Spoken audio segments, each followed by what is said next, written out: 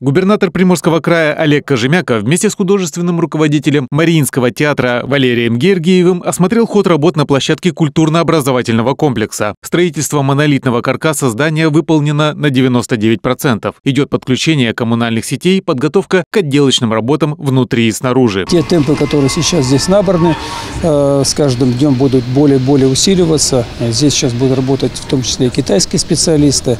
Вот, на летний период до двух с половиной тысяч будет работающих с тем, чтобы уже завершить э, все общестроительные работы э, к концу 2025 года и уже заниматься дальше настройкой, наладкой аппаратуры, э, то есть сложной, значит, э, много работы будет связано еще с обустройством этих мест, тем, чтобы удобно был подъезд, удобно были парковки. Олег Кожемяка подчеркнул, что культурно-образовательный комплекс станет центром притяжения и драйвером развития культуры. Чтобы это действительно был э, театр оперы и балета, один из лучших э, здесь, на Азиатско-Тихоокеанском побережье, который, безусловно, будет привлекать э, не только жителей Приморья и э, российских наших гостей, но и непосредственно станет таким драйвером э, развития культуры э, всего Азиатско-Тихоокеанского э, региона. Проект э, очень значимый э, в целом не только для ВДС, только для Российской Федерации. Культурно-образовательный комплекс площадью почти 80 тысяч квадратных метров на сопке «Орлиное гнездо» объединит в себе филиалы Третьяковской галереи, Российского государственного института сценических искусств и Мариинского театра.